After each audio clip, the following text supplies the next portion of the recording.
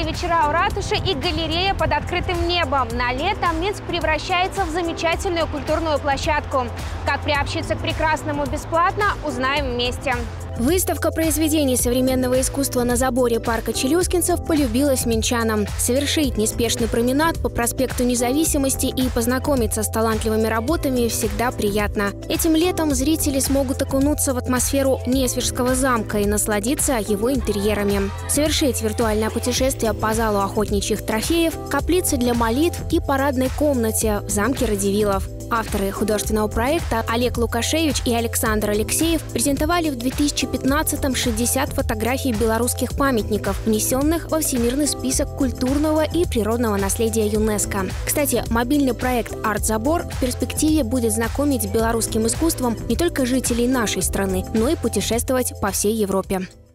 От Вавилонской башни и старых ульев до идейного переключателя и эффектной прищепки. Остров на Комсомольском озере в этом году превратился в удивительную культурную площадку. Экспозиция из многометровых пространственных объектов от известных белорусских художников покоряет с первого взгляда. Настоящий фейерверк идей и форм. Это большой формат не только с художественной, но и с технической точки зрения. Общий вес экспонатов превышает 20 тонн. Такой проект не только яркий калейдоскоп направлений современного искусства, искусства, но и возможность творческой реализации для наших художников. Впервые объекты современного искусства э, внедряются в пространство обычного человека. Единственное отличие, скажем так, от музея что в музее нельзя трогать руками экспонаты, то здесь это можно делать. И на некоторых можно и посидеть. То есть определенный интерактив. Такие знаковые художники и скульпторы, как Константин Селиханов, Михаил Шиков, Константин Костюченко и другие, окунули зрителей в мир своих фантазий. Здесь ангел снимает свои крылья и отправляется гулять по парку. И вызывает улыбку аппетитный стул, напоминающий по цвету сыр. В этом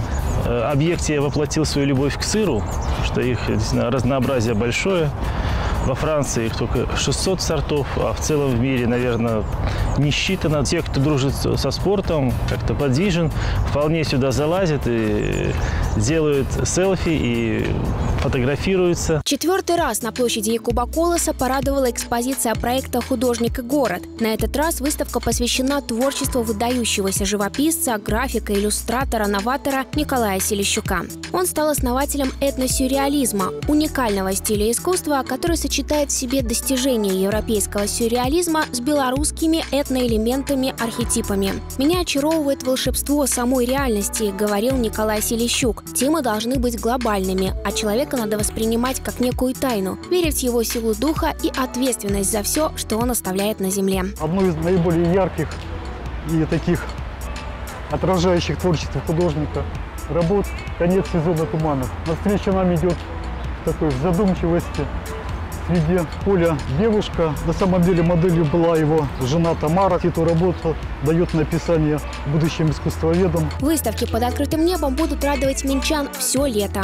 Уличный формат становится популярнее и убеждает, что современное искусство понятно не только искусствоведам, но и интересно широкой публике. И чем больше вдохновленных зрителей, тем праздничнее наш город. Анастасия Макеева, Сергей Книга и Андрей Новгородцев специально для студии «Хорошего настроения».